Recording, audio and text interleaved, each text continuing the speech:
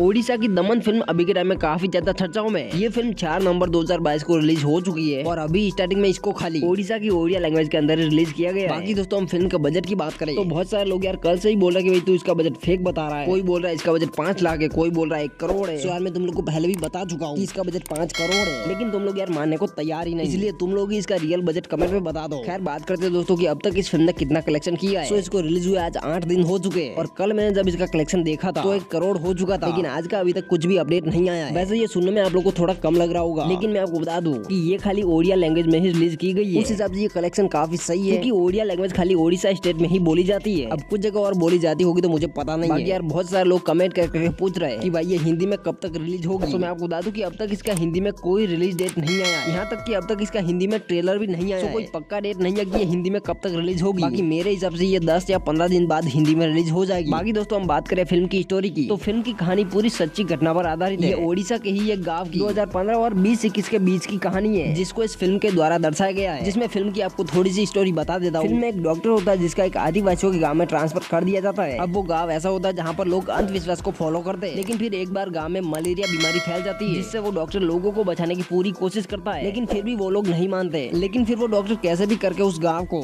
बीमारियों से बचाता है बाकी दोस्तों फिल्म की स्टोरी काफी इंटरेस्टिंग है इसलिए इस फिल्म को जरूर देखना बाकी दोस्तों जब ये फिल्म हिंदी में रिलीज होगी उसके बाद बाद बॉलीवुड वालों की पूरी तरह से वार लगने वाली है कांतारा ने तो ऑलरेडी इन लोग की बैंड बजा दी है लेकिन अब ये फिल्म मेरे हिसाब से कांतारा से भी ज्यादा छलने वाली है